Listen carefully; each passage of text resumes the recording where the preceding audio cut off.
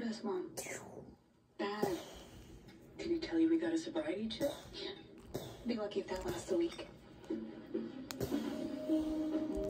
I'm going to my room. Not before you clear your plate.